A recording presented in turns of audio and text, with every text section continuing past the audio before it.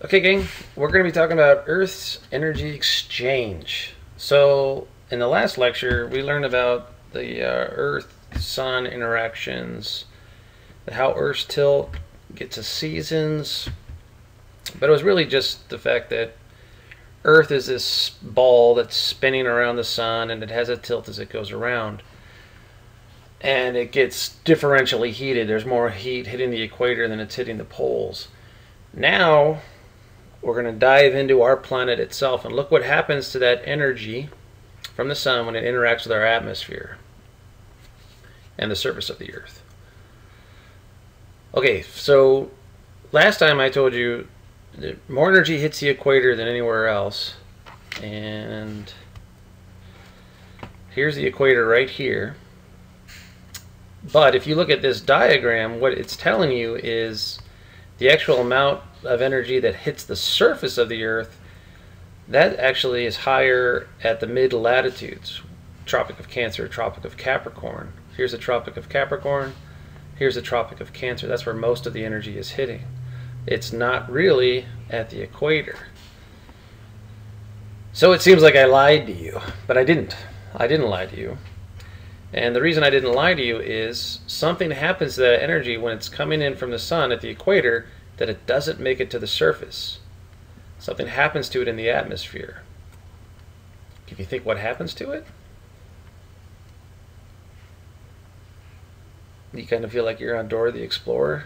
That only is going to make sense if you watch that show and have kids. But what happens to it is so much heat hits at the equator that it gets so hot that you get a lot of storms that develop. Heat will cause air to rise and you'll get a lot of storms. So it rains a lot in the equator, and to generate rain, you need clouds, and clouds are white, which will reflect a lot of incoming energy, and that will keep the equator from receiving a lot of incoming energy. At the mid latitudes, where you happen to live here in Phoenix, we have hardly any clouds. So even though the sun isn't as high in the sky where we live, we get a lot of incoming solar energy because we have very few cloudy days and we get a lot of uh, energy from the sun. And the winter is the Sahara and Arabian Desert. There's the ones that get the most. And I'm fine with that. We get enough sun here in Phoenix. Okay, hope that made sense. So here's the, uh, oh, I probably Sorry, me scratch my ear. Sorry. Uh, here are the four things that happen to sunlight once it interacts with our atmosphere. That energy can get scattered. We're going to learn about two types of scattering, Rayleigh scattering and Mie scattering. Not you scattering. It's a dumb joke. Uh, light can get refracted, it can get reflected, and it can get absorbed. Down here at the bottom I have a link uh, that link is also provided for you on Canvas. Go ahead and check that out. That will help you understand uh, Rayleigh scattering. Okay, so hopefully you have a better sense for how Rayleigh scattering works. Rayleigh scattering generates our blue sky. What happens is, is when the shortwave energy that we can see comes in from the sun to our planet, as that energy is going in, the red, the green, the blues, the yellows, just go through the atmosphere, no problem at all for the most part. But blue uh, happens to be at the right wavelength that'll start impacting molecules in the atmosphere. And when it impacts those molecules, it scatters. It gets shot all over the atmosphere like pinballs. And that will generate the blue sky wherever you look. Uh, my students usually think the sky is blue because it reflects off the ocean. Light reflects off the ocean, and that's not the case at all. It's blue light hits air molecules and gets scattered all over the atmosphere. Now, when the sun gets lower in the sky and that light has to go through more atmosphere before it gets to your eyes, at that point you're not scattering blue as much. You start to scatter the other colors, reds and purples and yellows and stuff. Another type of scattering is Mie scattering. And this is something that we tend to get a lot in the wintertime. And if you ever drive to Tucson, you get this all the time. Is you're if you're looking towards the sun, you'll tend to see a white glare in the sky. So instead of it being blue, it's white. You get this white glare. What happens in Mie scattering is that light comes in and it impacts sand particles and other pollen particles in the atmosphere, and the light gets concentrated towards you. So it gets concentrated in a forward direction, so it gets really bright. If you look away from the sun, if you look if you were looking at the sun and you look behind you, the sky is blue. It's normal, you don't get any of this Mie scattering. So it scatters in a forward direction. What's neat though, because the light is white, that means it happens to all colors in the spectrum. It's not just blue, it happens to all the colors. Uh, like in the crayon world, if you mix all the colors, you get this brown. In the light world, if you mix all the colors, you get white. So all the colors are getting scattered in Mie scattering. So in Rayleigh scattering, it's only the blue light and it gets scattered everywhere. In Mie scattering, it's all the colors of the spectrum, so that's why it's white, but it only gets scattered in a forward direction. doesn't get scattered everywhere, just in a forward direction. All right, refracted sunlight. Refracted sunlight um, is neat. You might have uh, tried to entertain your friends when you put a straw into a glass of water and you look at it, you can see that it looks kind of bent or fat. If you've never done this, you need to do it. It will blow your mind. And what happens is, is when light goes through denser objects, uh, the light will slow down and change direction a little bit. So uh, let's, talk, let's look at this uh, sun one, for example. So when the light is traveling from space, which has no density, and hits our atmosphere, which is much denser, it'll slow down and change direction. And what can happen is the sun will have already set. But because the light from the sun hits our atmosphere, slows down and changes direction, the observer, you, could still see it. And so the sun can appear to sit on the horizon. It's already set, but it looks, but you can still see it because of that refraction uh, process, which is kind of neat. So sunlight can get refracted. You also get beautiful rainbows like this. I got to take this picture once on a backpacking trip. It was awesome. Got to see both ends of the rainbow. There was no gold, but it was rather beautiful. Uh, what happens in rainbows is the sunlight comes in, and to see a rainbow, the sun will always be behind you, and the sunlight will hit raindrops. And when it hits those raindrops, it slows down.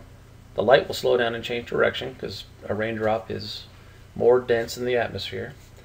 But what's neat, because the raindrop is curved, when the spectrum of light slows down and changes directions, they do it unequally. Meaning the red will slow down and change direction the least, and blue will slow down and change direction the most. And so basically the colors of light get spread out so you can see them. That light then is still headed away from you, but then it'll hit raindrops in the sky and it will reflect off those raindrops. It bounces off those raindrops, reflection, back into your eyes so you can see the rainbow, which is awesome. You also look closely, you can see uh, there's a double rainbow here, so it gets refracted twice before it goes into your eyes. And you can see the colors actually are reverse. Here it's red on the outside, here it's red on the inside. So, kind of cool. Okay, reflection. Reflection is easy. Light comes in and it bounces off the surface.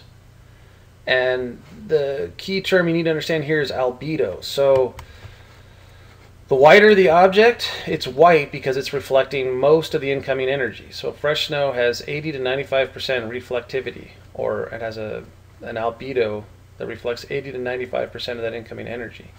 Whereas asphalt is black because that's it absorbs most. It only reflects 5 to 10%. Um, and then in the colors that you might see, like if you're seeing a blue house, it's absorbing most of the colors, but it's going to be reflecting a lot of blue. That's why you see it as blue. Last thing is energy can get absorbed. Uh, here's a picture of Badwater Death Valley. It's the lowest spot in North America. It's also recorded a temperature of 134 degrees in the 1930s. That's hot.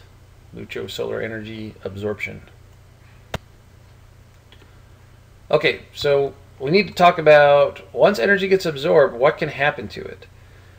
And these are the four things. Once energy has been absorbed, that energy can get radiated, it can get conducted, That energy can convect or can generate uh, latent heat. These processes are also known as the heat and energy transfer processes. So let's take a look at this pot. Once energy has been absorbed into this pot, heat can get radiated. So if you put your hand over a pot of boiling water, you'll feel the heat coming off. That's the radiated heat. It can also get conducted. Conducted is the molecule-molecule transfer of energy. So if you put your hand on the handle, you'll feel those molecules that are getting really hot closer to the pot on that handle. You'll feel it in your hand. Uh, energy can be convected. Convected is this water. The water down here at the bottom gets hotter than the water at the top. So the water that's hotter will rise because it ends up becoming less dense. It's hotter, it's moving faster and the cold water at the top moves down. And that convective process distributes heat throughout the whole volume of water. So it's you're transferring the heat through circulation.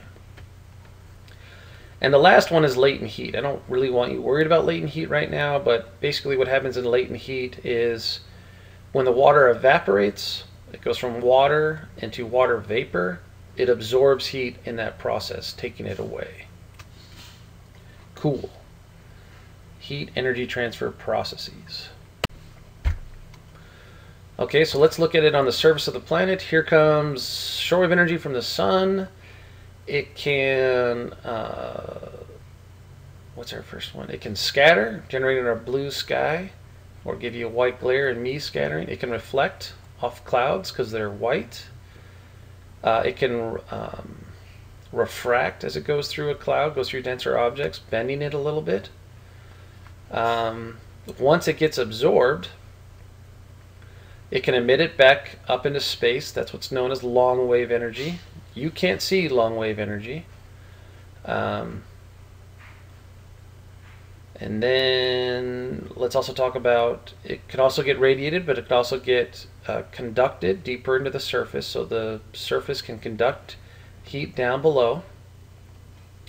It can also uh, cause water to evaporate, and that's known as latent heat. And if this was water, you can also cause that water to convect. So that's kind of what's happening in our atmosphere. Okay, let's take a look at the greenhouse effect. You guys have likely heard of the greenhouse effect. Take a minute and think about this question. What effect will clouds have on the surface temperature at night and the day. What effect do clouds have on the surface temperature at night and the day? And you can look at that diagram to kind of think about it.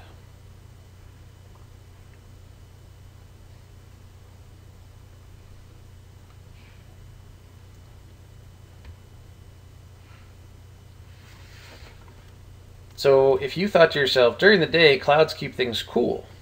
Right? When it's cloudy out, it's cooler during the day, and that's because energy is getting reflected off the white clouds, keeping the surface temperatures cool.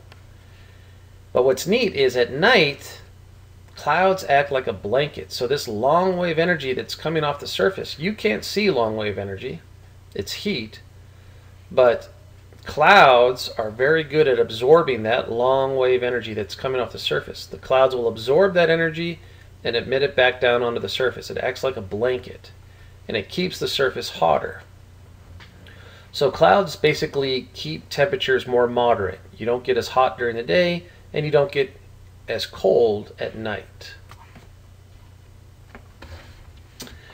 And that's kind of how global warming works. Uh, global warming is instead of having uh, clouds, and clouds are good, you know, water vapor, water droplets, are greenhouse gas.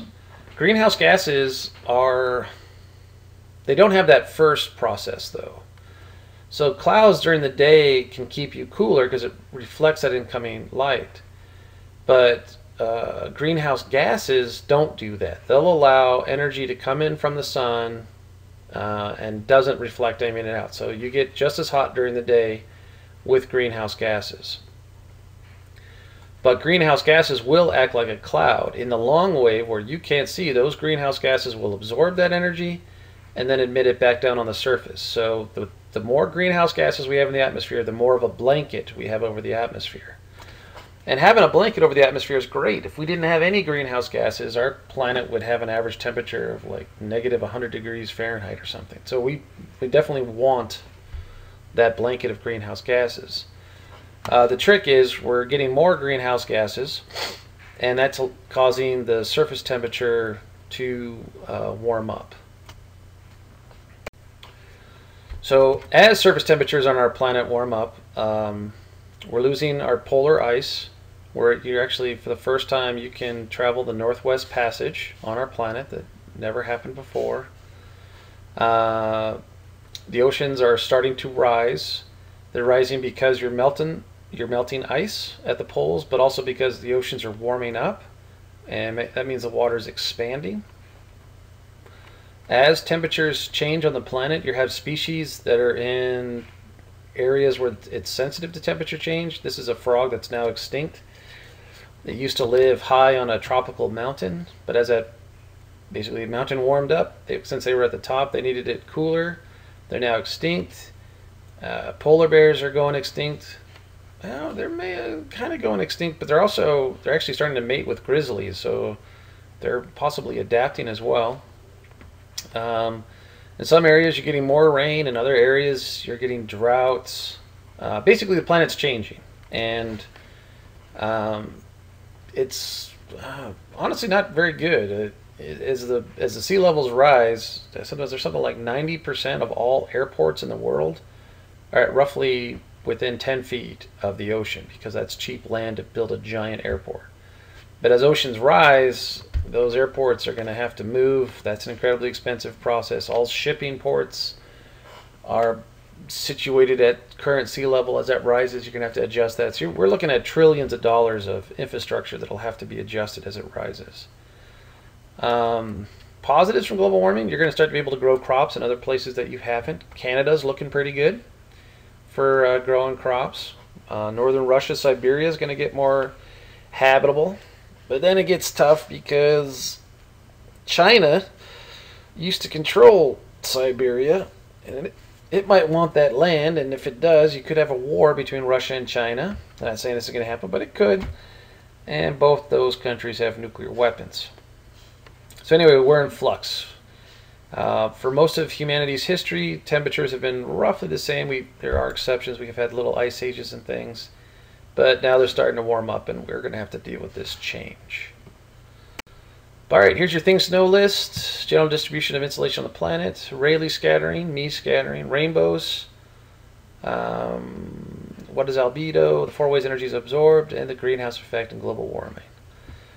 I help in the textbook. We don't actually have a textbook, so ignore this ignore this help down here at the bottom. Um, apologize that that's there. Hope you've enjoyed it. Have a great rest of your day, and thanks for listening. Bye.